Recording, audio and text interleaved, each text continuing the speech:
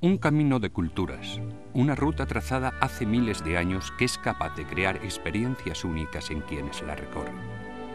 Personas de toda condición se han convertido en peregrinos y transitado por esta senda. El Camino de Santiago es hoy en día mucho más que un itinerario espiritual.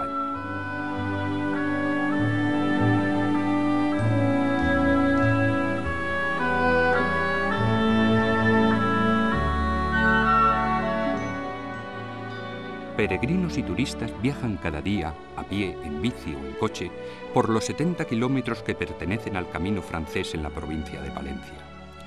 Un itinerario declarado Patrimonio de la Humanidad en 1993 que esconde y conserva en cada rincón, en cada pueblecito, buenas obras de arte, principalmente de un estilo tan relevante e íntimamente ligado al Camino de Santiago como es el románico.